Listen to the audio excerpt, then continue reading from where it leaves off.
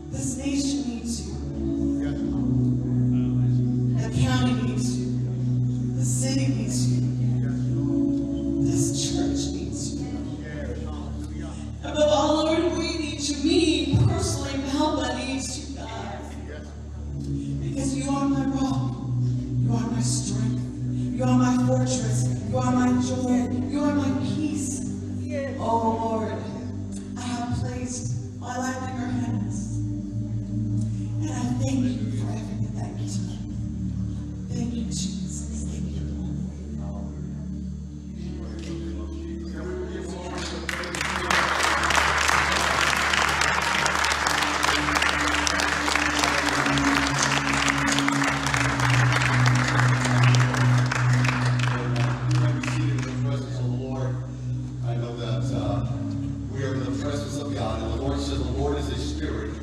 And where the spirit of the Lord is, there is freedom, there's liberty. We sense that this morning in worshiping and magnifying the name of the Lord.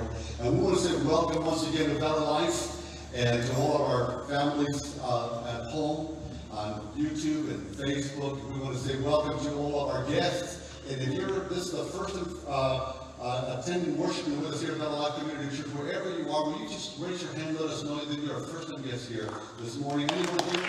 Yeah, welcome to my God, bless, welcome. Amen. We're going to have you this morning, it's going to be blessed for the service uh, today, because God is with us. And uh, we're, we're, we're grateful for, for what God continues to do. Now, uh, I just want to remind us all of where we're at as we continue to move forward in this in this uh, COVID-19 situation until we hear from the governor. We will continue to operate this way with uh, everything that you pretty much know by now. But just let me remind you this morning of a couple of things, and especially for our guests. We're normally comfortable front doors and then we go right back to the lobby and exit. But because of the physical distancing, we're making our way through the uh, side doors. At the end of the service, at the end of our worship time together, as we exit through the south doors, ushers will be there with uh, offering bags, and that's where we'll be able to uh, uh, place our tithes and offerings on the way out. Uh, and uh, also want to remind us, uh, any families this morning, you have infants, the nursery is open and available uh, to take care of the babies in there, and then you can come right back and sit together with your family. No Sunday school Bible studies at 9 a.m. right now on Sunday mornings. No midweek connections in person yet. So, nevertheless, Pastor Paul Lemons, our teaching pastor, is continuing to uh, teach on Wednesday nights, and he's just begun a study in the book of Romans, highlights in Romans. So, you want to make sure that you tune in on Wednesday nights at 7 o'clock on Facebook, YouTube, and you will be blessed. How many of us appreciate Pastor Lemons and the teaching of the Word of God? Amen.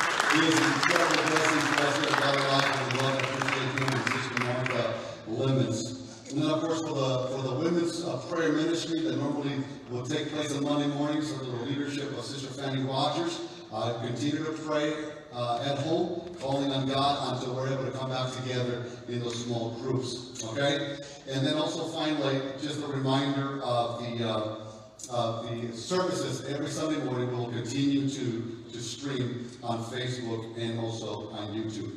Well, we're going to continue to worship the Lord this morning, and and uh, I'm going to ask you, will, would you please stand with me? Uh, we're going to continue to press into God.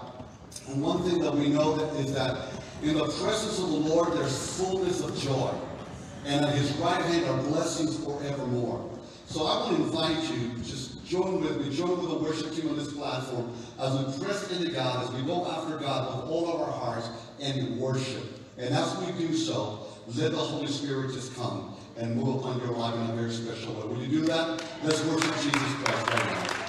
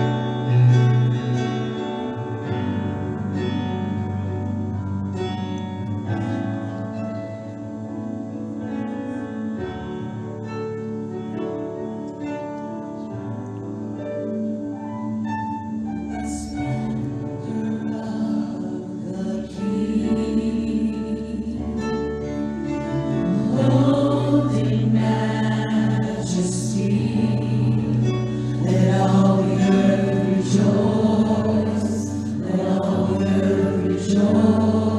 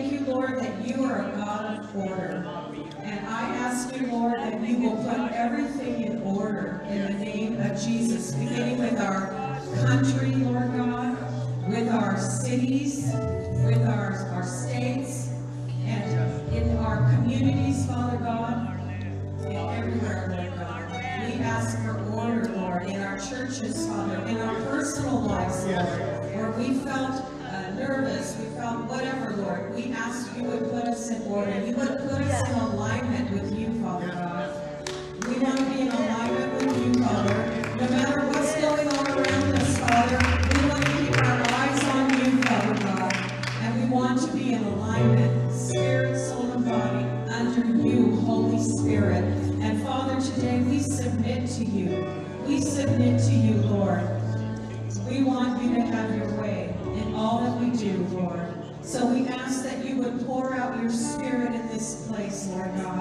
We ask that you, Lord, by your authority, you would take authority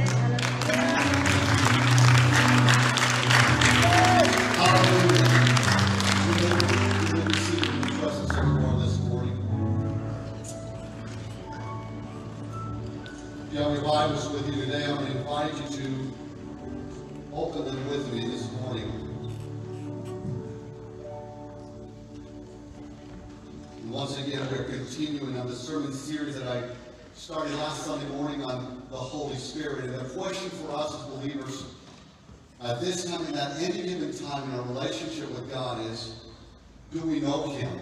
We know the Father, we know the Son, but do we know the Holy Spirit? Do we understand the relationship that the Holy Spirit wants to have with us and that He invites us to be, to have with Him?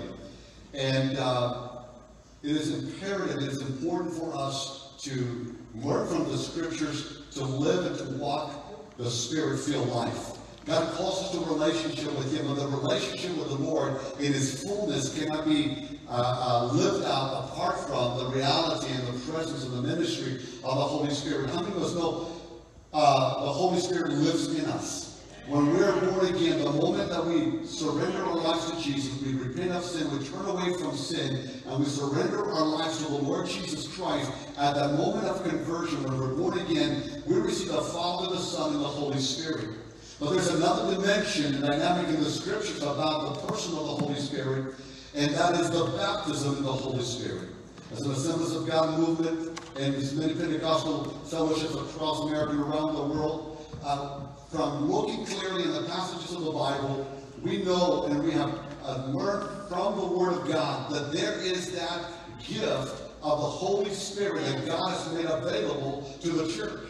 And therefore, God calls us, therefore, not only to be filled with the Spirit, to live the Spirit-filled life, and- but to be baptized in the Holy Spirit. And there are those that receive the baptism of the Spirit the moment of conversion. There are those that receive the gift in the baptism of the Holy Spirit later on in their spiritual journey. And for mysteries unknown to me or to us, for some it may take a little bit longer. But Be that as it may, we cannot discard or disclaim the truth of the scriptures, and that is that the baptism in the Holy Spirit is for today, and that it is for you. And that the initial physical evidence of how we receive the baptism of the Holy Spirit is the initial physical evidence of speaking with other tongues. And when we do a good uh, uh, uh, study of the scriptures, we learn, we discover that this is in order and that this is for us. And uh, so, what's important for us as pastors and as ministers is to execute the scriptures, uh, search the scriptures, and declare the word of God. And the Holy Spirit will then bear witness with our spirit that this is the truth, that this is the word of God, as we look to the word of the Lord. So today we continue with uh, who is the Holy Spirit. So today I'm going to talk about the Holy Spirit with us. The Holy Spirit with us. Will you join with me in the word of prayer right now? Heavenly Father, in the name of Jesus, we thank you for your manifest presence, both here in this building as we congregate together as the people of God. And we thank you, Lord, for all of our VLCC families watching the service via Facebook and YouTube. We pray for an open heaven there and here. We pray that today, Lord, that this will be a Bethel experience, the house of God and the gate of heaven. Like the dream that you gave to Jacob of old, where he saw that ladder touching heaven and earth. At the top of the ladder was Yahweh, the Lord our God. And at the bottom of the ladder there was Jacob. And in this dream, you saw angels ascending and descending up upon Jacob. And so, Lord, in the New Testament, in the Gospel of John, when Jesus, you came to call Nathaniel to follow you, Lord God, uh, you, you, Jesus, you spoke to Nathaniel and said to him, From this day forth, you will see the heavens open and the angels of God ascending and descending upon the Son of Man. So, Lord, we know that that ladder in Jacob's dream was a type of a cross. And Lord, by way of a cross, you open the heavens for us. You give us access into the Holy of Holies by the blood of the Lamb. And there are spiritual riches and abundance that you would want to download into our soul and into our spirit today. So, Lord, once again, I pray, let this be a Bethel experience where, Lord, we are in the house of God and, Lord God, the gate of heaven and bring forth, Lord God, the ministry to every individual person under the sound of my voice, both in person and at home. Father, you are gracious and liberal and generous in giving gifts to man. And I pray in the name of the Lord Jesus Christ that you will distribute gifts to men now in the name of the Lord Jesus Christ. And that, Lord, your people, Lord, will be filled uh, fresh and anew, Lord, with the promises of God, with the Spirit of God, and bring forth, Lord God, ministry, both collectively and individually, in the name of the Lord Jesus Christ. And we trust and pray today, dear God, Lord God, for the balance of the service today, as you bring us to the close, Lord God, in a little while, Father, that we will be able to say, Lord, we have been in the presence of God. And not only here together, but as we leave this campus today, that, Lord, your presence goes with us. Because as Moses prayed, Lord, if your presence doesn't go with us, do not send us there. God, I pray that your presence, oh God, will always go before your people. And the Lord, you will be with your people. And especially in this hour. As you, Lord God, I pray that you will Shekinah, that your manifest presence will be, Lord God, upon your church, the congregation together and individually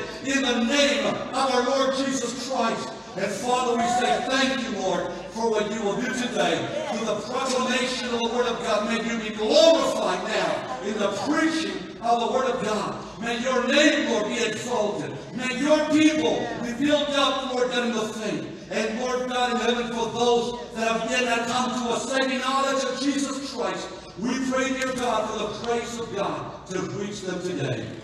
It is in Jesus' name that we pray. Lord of God's people said amen. Amen. And amen. And amen. The Holy Spirit with us. Once again, I believe that while there are a number of things that oftentimes as followers of Jesus we may take for granted and we may forget, perhaps not intentionally, but in some way, we may forget certain things and we may take for granted. One of those areas in our spiritual pilgrimage, it is, it is living out the spirit-filled life. Living the spirit-filled life. And you know, I, I, I remember our, our former secretary, uh, former secretary of the General Council of the Assemblies of God talking about the gospel and even in the preaching of the Word of God. uh, uh, it, it, it does not require uh, uh, you or I to be rocket scientists. He had a, a, a PhD in, in rocket science, so I guess that's why he, he made that statement. But it's really all about knowing that we are at the feet of the Lord Jesus, walking in a relationship with Him consistently. And as we do that from a place of grace and not of works, He does what He does best to, to shepherd us. Like the psalmist declares in Psalm 23, He leads me in the path of righteousness for His name's sake. As we put our hand in the Master's hand on a daily basis, He will take care of that part of leading us. He said, My sheep hear my voice, and, and, and they follow me. As we hear His voice, He leads us, and in leading us, he leads us to that place of living the spirit-filled life. Let's take, a, let's take a look at a passage of scripture this morning in the Gospel of John, chapter 14, in verse number 15. I'm going to I'm to read this text from the New Living Translation, but if you'd like to turn in your Bibles, take notes. on John chapter 14, verse 15 through 18. And these are the words of Jesus. He says to us, If you love me, obey my commandments. And I will ask the Father, and he will give you another comforter. He says, I will give you another, uh, another advocate who will never leave you. He is the Holy Spirit who leads into all truth. The world cannot receive him because it isn't looking for him and doesn't recognize him. But you know him because he lives with you now and later will be in you. No, I will not abandon you as orphans. I will come to you. So I want us to notice a few things that John reveals about the Holy Spirit living with us. First of all, we need to understand that you and I don't work to receive the Holy Spirit, as I stated that earlier. You and I are to welcome Him into our life. Receive the Holy Spirit by faith. But the Lord Jesus says, if you love me, obey my commands. So we welcome the Holy Spirit by living a life of obedience to Him. Do you recall when you first came to faith in Christ?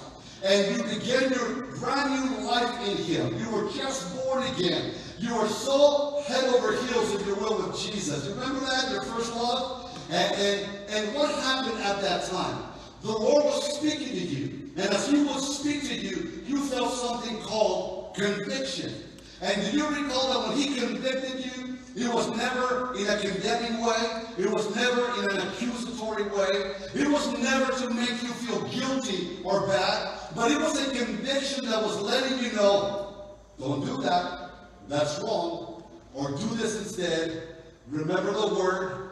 Remember the scripture. Do you remember that? And, and, and what did the Holy Spirit do? Let me just, just, just condense it to about three things. Number one, He will never allow you to go to places Jesus would never go.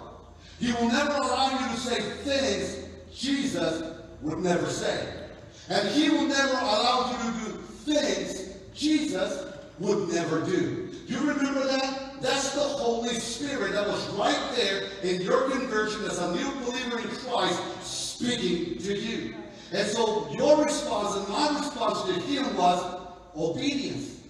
It was obedience. And as we respond in obedience to the Holy Spirit, what we're doing, we are increasing our capacity to receive Him. And as we increase our capacity to receive Him, inevitably what's going to come next, it's going to be a mighty outpouring of the Holy Spirit. It is an outpouring of the Holy Spirit of God where before you know it, you will be speaking with other tongues. Let me give you just a brief example from my own personal life. As I'm born again, as I'm born again by the Spirit of God, March of 1986, the Lord began to do that. And I did not know that this was the activity of the third person of the Holy Trinity, the Holy Spirit at work in my life. But I remember when the Holy Spirit nudged me, He convicted me and said, You can no longer go to those places you used to go. And, and, because I was so in love with Jesus, I did not want to sin against him. I did not want to do anything that would grieve him. I didn't know. Little did I know that what I was doing then, I was obeying him. And then the next day, uh, when I wanted to say something that it just went contrary to the scripture, I, I did not realize it, but I didn't say things that I thought it was okay to continue to say. So I, uh, so I obeyed the Holy Spirit, and, and so what happened was between March and July, August, there was a consistency of obeying Him. And each time that I was obeying the Holy Spirit, I was growing from one degree of glory to another degree of glory. Are you with me? And that's where the Holy Spirit is inviting you to walk with Him, to go from one glory to another. And it is not that complicated. You don't have to read a 500 or 1,000 page book on, on pneumatology or the study of the Holy Spirit to grasp and embrace this revelation. It is so simple that as you obey Him, listen, a life of obedience to the Spirit it is a life of holiness in the Spirit. We grow from one degree of holiness to another degree of holiness as you obey the Spirit. So you don't have to feel like, like dirty and filthy and yucky and ugly or whatever that maybe you're not doing enough good works to live a life that is pleasing to the Lord. All you need to do is listen to the voice of the Spirit, obey Him, and as you do, He's leading you from one degree of revelation to another degree of revelation of who Jesus is. Because isn't He ultimately who you are pursuing? And the Holy Spirit is going to make sure that you get that which you're thirsting for, that you are able to embrace and receive what you're longing for, because at the end of the day, the longing of your soul was placed there by guess who? By the Holy Spirit of God. And He will not. From one degree of glory to another. And so I recall between Ju- uh, March of 86 and July, August of 86, there I am in this little Pentecostal holiness church. And I'll never forget, when I got to that church, I used to play in a band, and I used to play the bass guitar. But when we got there, we're setting up the instruments before the congregation arrived. I looked at the band leader and I said, I said to him, I just, I just don't feel like I'm supposed to play the bass guitar. Can you play, play the bass for me tonight? And after all, he's the one that. He said, sure. And then I went to the pastor of that church, and, and I said, Pastor, would you please pray for me? Because I'm the only Christian in my family, and, and, and, I'm going through some things. Would you please pray for me? He said, absolutely. He took the anointing oil. He anointed my head with oil in the name of the Lord. And then he says to me, Brother Jesse, just go over there to the altar and pour your heart out to God. So I'm, I'm a baby in the Lord. I'm like four months old in Jesus, okay? This is the summer of 1986. So you know what I did? I did exactly what the pastor told me to do. I went to the altar and I began to pray. But as I began to pray, I began to just sense a burden on my heart, over my heart for the nations to come to Christ. I began to pray for countries to come to Christ.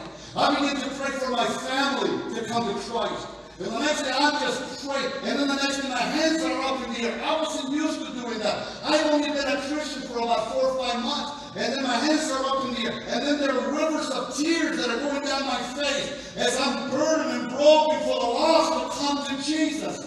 And then the next thing I'm weeping and I'm praying and I'm praying for the lost. And the next thing I am praying in an unknown tongue. And I remember in the back of my head that many, many, many years ago people used to pray in tongues. And as I'm praying in a heavenly language, I am praying like 150 miles an hour.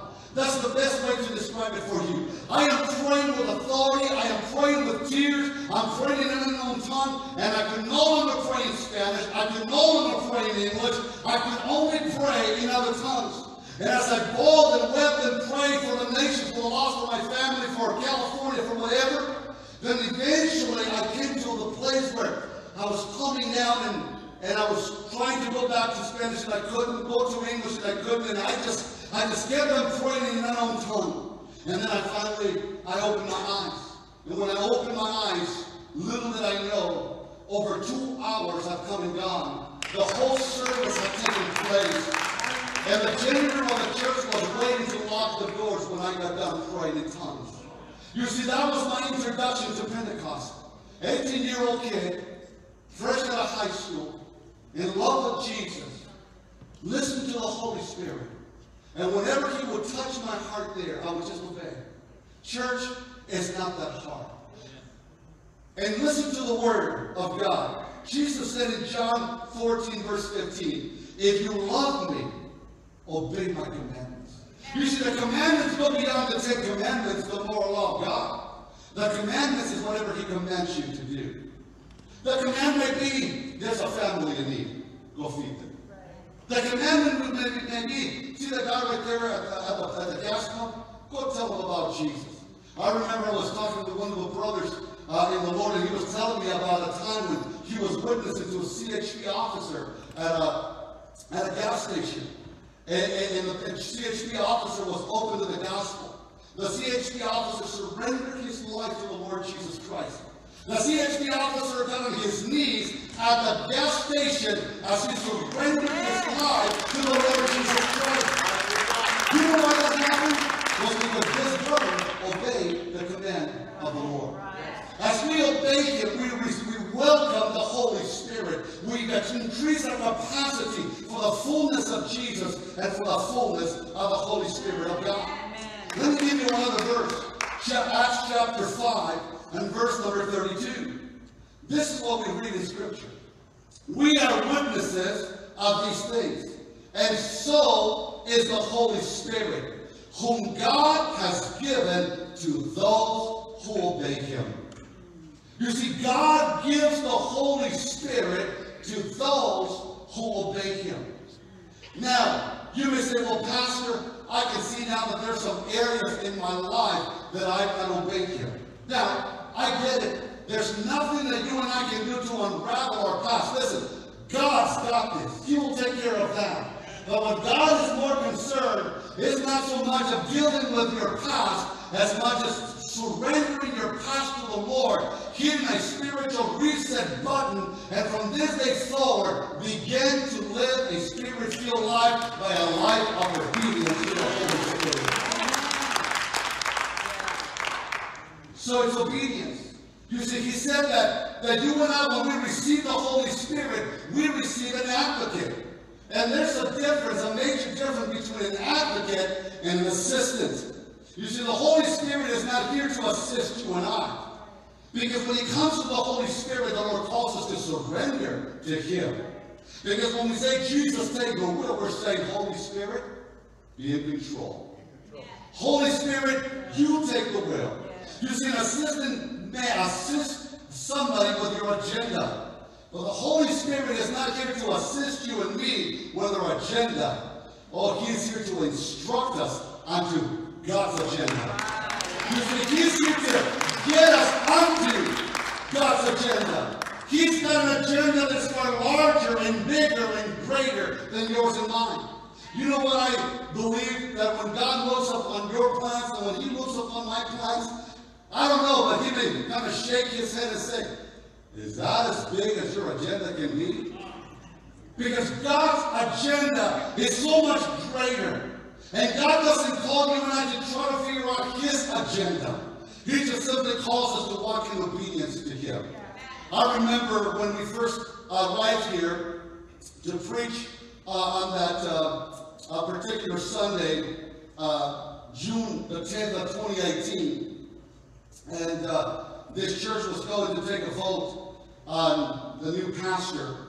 And I shared the illustration. Let me share it with you once again because it has everything to do with living a life of obedience to the Spirit.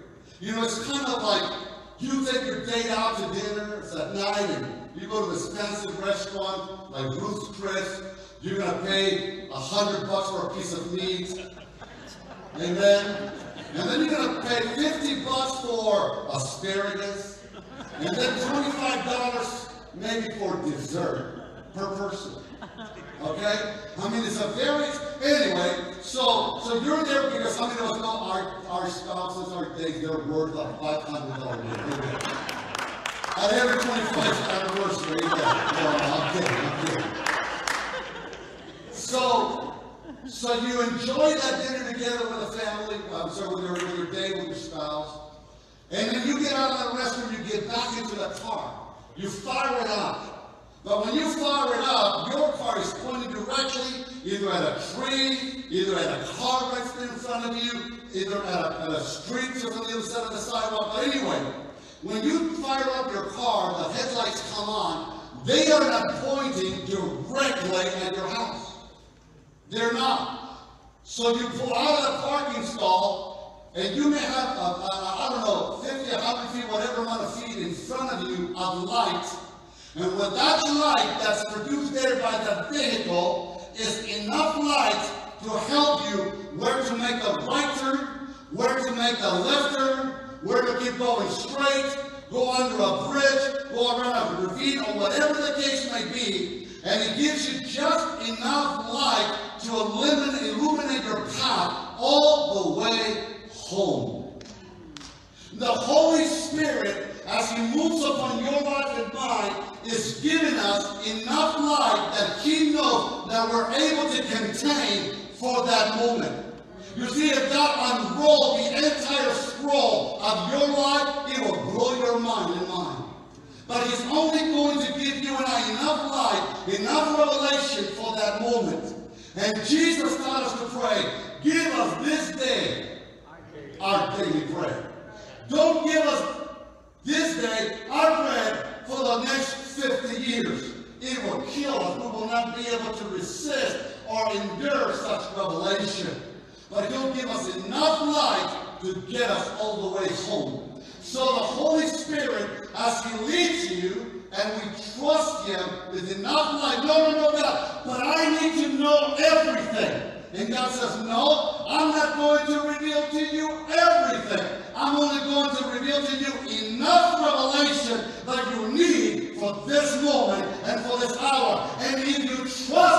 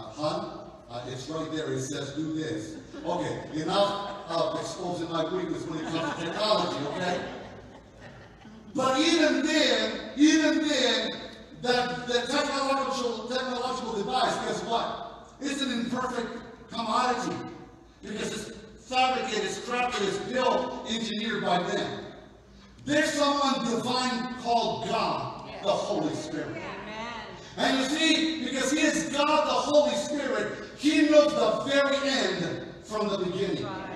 He knows exactly what will happen, not only from A to C, but everything between the B and the Y, according to your life. And because He is divine, He is God, He does not forget the promises that God has made to you and. How many, how many of us have found ourselves sometimes, you know, I, I need to find that promise, and I need to go here, so why don't we do something? We'll go to Google, in. God will never leave me nor forsake me. Bam! Then the Google spits it out, you click on that, and there is that verse. That's awesome that Google can assist us and help us that way.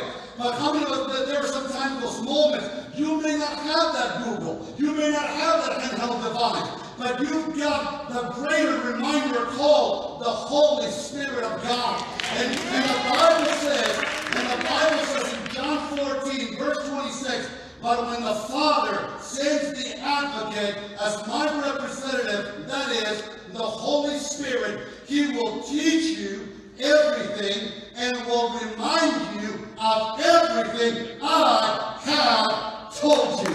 He is a great reminder. He reminds us as God's people of the promises of God. So let us never forget that. We, therefore, must understand that because He is a divine reminder. Listen, you and I in our lifetime, we have heard anecdotes, personalized illustrations like I shared with you today, um, great books that we've read over our years. But there's one thing that we must get in this message today, you did nothing else. What the Holy Spirit is going to remind you and I of is not a great story that was told, the great illustration to expound and, and, and, and, uh, and, and make that scripture, the scripture become more loose and more clear. The Holy Spirit is going to remind us of God's Word. What does that mean to you and I? It means for you and I that therefore we must go deep into the Word. It means that you and I must be bathed and saturated with the Word of God, the Holy Scripture.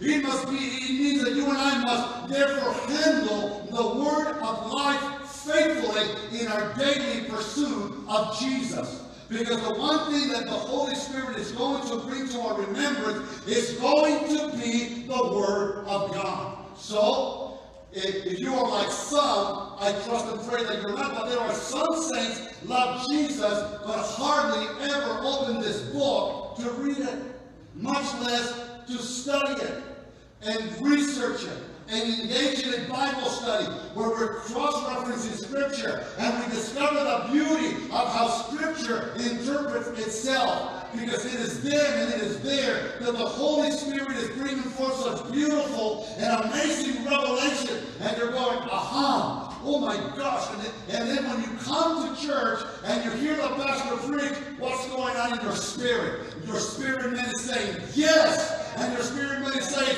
amen. And then what happens? You begin to clap. Why? Because there is a witness in your spirit. Because you've been in the Word of God. The Word of God is the Word of the Holy Spirit. Can somebody say amen? Hallelujah. Well, let me say one other thing. Let me say a couple more things. Let me say about three more things. Amen. Okay, so the Holy Spirit reminds us that there's something else that the Holy Spirit does, and I've already touched on that, but I'm going to give it to you anyway. You may want to jot it down. Is that the Holy Spirit convicts? Some of us remember that point in the message. Okay? Just jot it down. John 16, verse 8. And he, when he, when he, the Spirit of truth comes, he will convict. Now let me tell you something about conviction. You see, he says he will convict the world of sin, of righteousness, and of judgment. So when he convicts us, he will convict us in our personal walk with God. But he will also convict us as a body of believers when we come together collectively to worship the Lord our God. Can somebody say amen? amen. And that's beautiful when the Lord comes and moves in our lives. Now, as I endeavor to bring this message to a close today, let me share with you um, a couple of closing thoughts here, okay? Let me just give a, a, a few pages here. Let me say, let me, let me just say this. The Holy Spirit, and, and, and you know what I'm going to. The Holy Spirit, when He moves upon your heart and mind, He's going to lead us to walk in the demonstration and in the power of the Holy Spirit of God. And I need to obey the Lord. Worship you, would you sit down? I'm I'm struggling, but I'm going to stop here and Yes. just obey the Holy Spirit. Are you okay with that? Amen. I'm going to obey the Lord. Yes, Come on, let's put our hands together. Let's just worship God. Thank you, Lord. Who is ready for this church? Who you stand with me? As, as a preacher once said, there's, there's, there's a lot more message here, but maybe we just need to obey the Holy Spirit of God right now. I don't know where you are right now in your, in, in your walk with the Lord. But this one thing I do know for certain. You're here because you love the Lord. And you love the Holy Spirit. How many of us love the Holy Spirit? You love the Holy Spirit. And because you love the Holy Spirit, I love the Holy Spirit. I want to be filled with the Holy Spirit, and I want to increase the capacity in my life for the fullness of the Holy Spirit of God. And in order to be able to increase the capacity, is for a life of consistency, of consistent, consistent obedience to Him. So if you and I have been disobedient to the Holy Spirit in some form, in some way, it's not about condemnation, and it's not about guilt. It's all about conviction. But it is a conviction that comes with love. How many of us know Jesus is the chief shepherd, and he's the bishop of our soul? And he comes to deal with us in love and in compassion. And he calls us, and he invites us to come together. Because you and I need the Holy Spirit like never before to live that spirit-filled life. So if you are there and you say, Yes, I do love the Lord, I love the Father, I love the Son, I love the Holy Spirit. And I know that God spoke to me loud and clear today, and that I need to listen to his voice. When he speaks me and he says, Don't go to those places Jesus would never go. Don't say those things that Jesus would never say. And do, don't do those things that Jesus would never do. And, and, and, and trust me in the amount of light and revelation that I'm giving to you to get you to that next step, to get you to that next level, to, to get you to that next spiritual dimension. Trust me with enough light and that revelation that I will never mislead you, that I will never forsake you, that I will never abandon you. Trust me. That's what the Lord is saying. Are you willing? Are you ready? Are you prepared to surrender to the Holy Spirit of God today? Are you ready? That is you right now. I'm going to invite you to step out of your seat and come. Come on. We'll practice the physical distancing here at the altar. But I'm inviting you to come as the Spirit draws you today. And let's come before the Lord. Team, will you help me with this cameras right here? Uh, Cindy or somebody, will you help me with these cameras? Let's move them to the side, please. Thank you. And uh, let's just make sure that it is safe. As families are coming down, we're coming to a place, a place that is safe. How many of us know the altar? The altar is a safe place. This is a place where we belong.